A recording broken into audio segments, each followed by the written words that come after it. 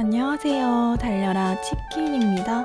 오늘은 작년에 일본 여행 갔을 때 샀었던 레진 몰드를 써봤답니다. 다이소에서 샀던 거고 100엔에 샀었어요. 세금 포함해서 우리나라 돈으로 대략 1000원 조금 넘는 금액이죠. 실리콘이 되게 말랑말랑해서 뗄 때도 잘 떨어진답니다. 먼저 이 몰드를 사용해 봤답니다. UV 레진에 흰색 조색제를 넣고 섞어서 몰드에 채워뒀어요. 처음엔 반 정도 기포 없이 밑에 잘 깔리도록 꼼꼼하게 발라주고 그 다음 나머지 반을 채웠답니다. 넉넉하게 올려서 이쑤시개로 평평하게 닦아냈어요.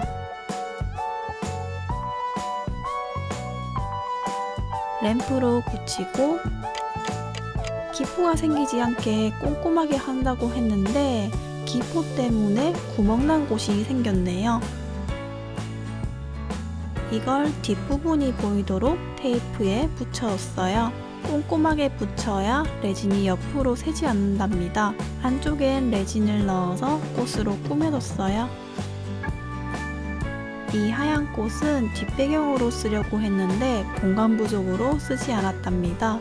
지금 보고 있는 부분은 뒷부분이라서 꽃도 뒤집어서 꾸며줬어요.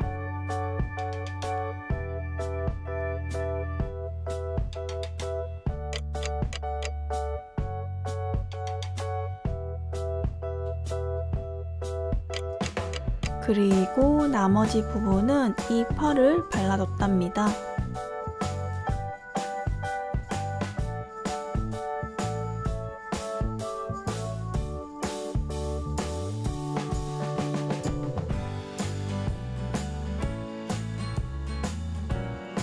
펄을 꼼꼼하게 발라주고 그 위에 레진을 올려줬답니다.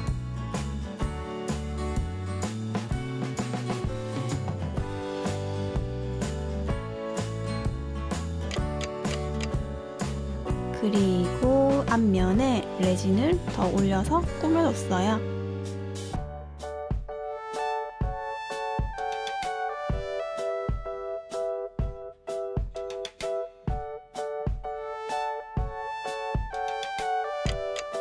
이렇게 완성됐고 악세사리로 쓰고 싶으면 이렇게 핀바이스로 윗부분을 뚫어서 쓰면 된답니다. 이제 옆에 다른 몰드를 써봤어요.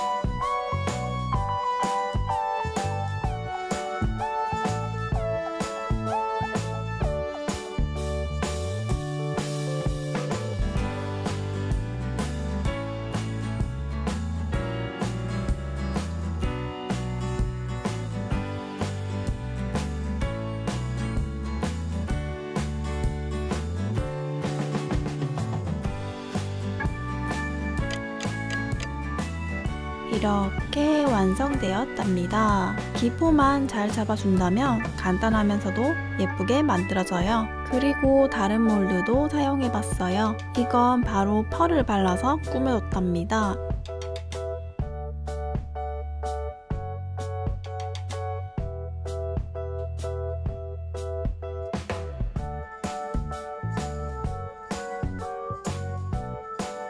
이것도 역시나 먼저 기포가 생기지 않게 레진을 잘 펴줬어요.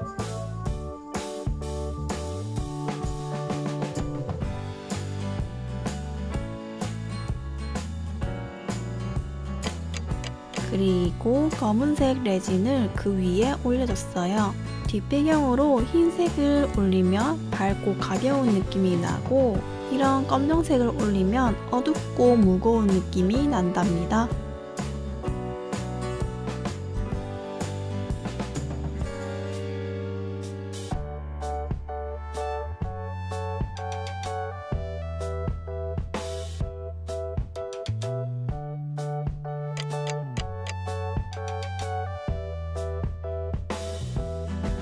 자 이렇게 완성했답니다. 이건 안쪽에 사진을 넣어서 액자처럼 만들어도 예쁠 것 같네요. 그럼 저는 다음 영상에서 또 만나요.